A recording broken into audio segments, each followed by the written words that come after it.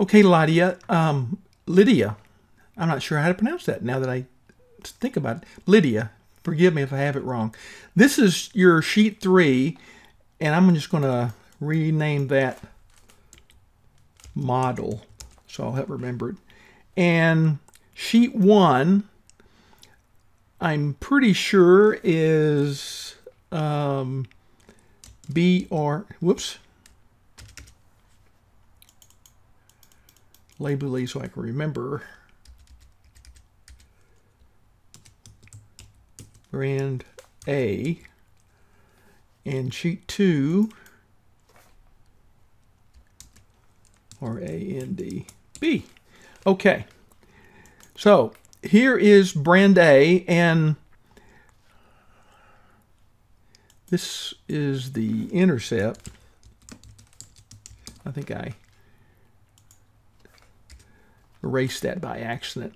This is the results of your regression when you, and it looks like you regressed it properly. You've got an intercept of 250, price of brand A, coefficient of minus 0.56, and a price of brand B coefficient of plus 0.34.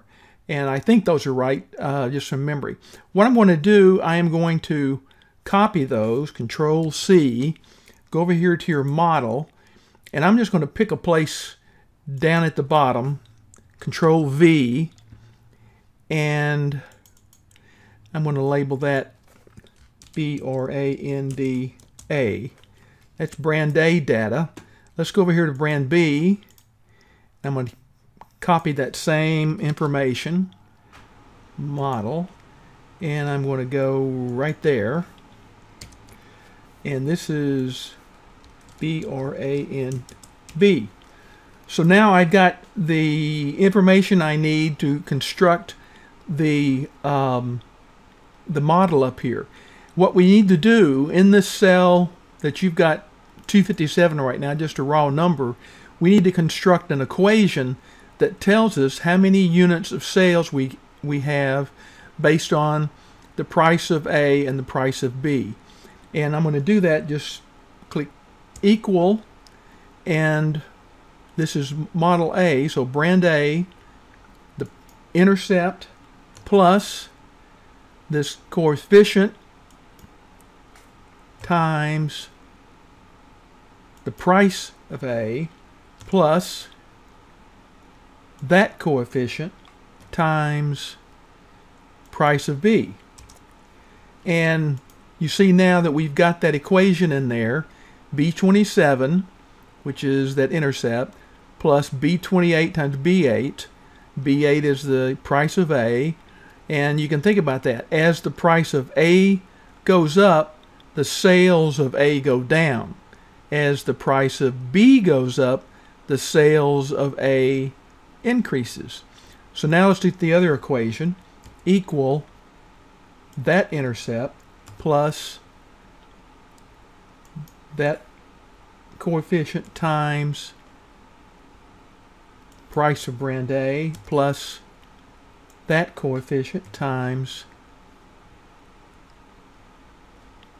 it is driving me nuts here you put this on pause because get, get it to... Okay, let me do that again. I'm going to click in that cell, equal the intercept plus coefficient times price of A plus coefficient times price of B. So now we've got an equation for both of these. The equation for the sales of B Model B says that it's 320 plus the B sales go up as the price of A goes up and then the price uh, as the price of B goes up the sales of B go down so those are your equations now we just need to connect these things the revenue equal price times unit sold and once we get that, remember we can just copy that down. And you already have that sum, so that's correct. The cost See, you've got entered in there hard coded, and really that needs to be an equation again equal the unit sold times the cost. And the same thing's true here, equal unit sold times the cost. And that should be summed down, that's okay. Now, we need this to be also an equation again, and profit is nothing more than equal revenue minus cost. And that one we can copy down. And you've got that summed up correct. Okay. So now we've got this 15,930 is our total profit based on this model if the uh, price of A is 200 then we get 5930 if I change that to 250 you can see that everything updates. And the, the key thing that, that I did that you didn't have when I first got here, this cell just had a hard number. And all I did was to link it equal that total profit. Okay, that is the basis of um, the model that you'll use throughout the rest of this um, uh, problem. And the next thing you want to do is use the data table. Okay, now we're ready for the data table. The tricky thing about the data table is remembering what is the row cell and the column cell. What I like to do is to take those cells, go to home here, and I'm going to say that is my row cell and then my column cell so I remember. I'm going to make that yellow and that those cells. So that helps me remember what are my row cells. I mean my row cell is cell B8 and my column cell is B9 so to do the data table we select that key corner cell and then highlight everything that we want from 200 to 600 vertically and 200 to 600 um, horizontally.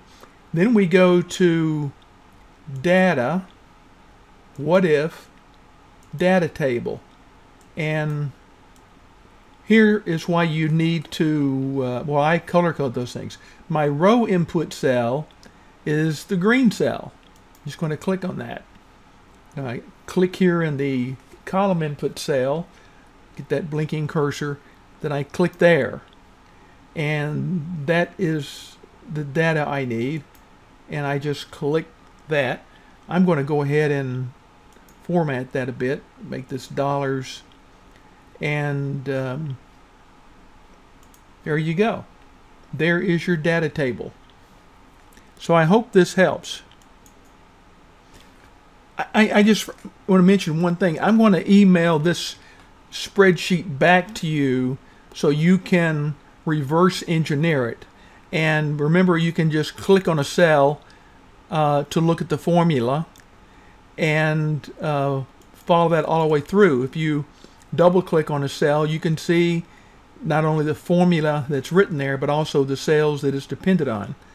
The other thing you can do is to go to I think it is formulas and I want to trace dependents. I'm going to go there. Let's see if it'll here. See there I just clicked on it and it shows that I connected this cell to that cell this cell is a dependent of that cell if I go here trace dependents it doesn't have a formula to show that but let's, let's go here I'm going to go to that one trace dependents. And that's a good one because you can see that the sales of A and B are both dependent upon the price of A. And if I click on the price of B, same thing is true. That the sales of A and the sales of B are dependent upon those prices and they affect the revenues which go downstream. So I'm going to just remind you that you can can see that.